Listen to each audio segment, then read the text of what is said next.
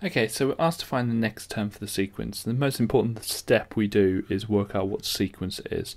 So we have to add uh, 4 to get from 3 to 7. And then we add 3 to get from 7 to 10. Then we add 7. Then we add 10.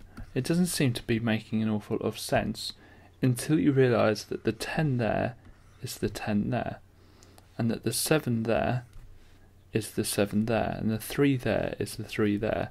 And that screams out to me Fibonacci. Now, Fibonacci means you add the 3 and the 7 together to get the 10, then the 7 and the 10 together to get the 17. You add the two previous terms, so 10 plus 17 is 27.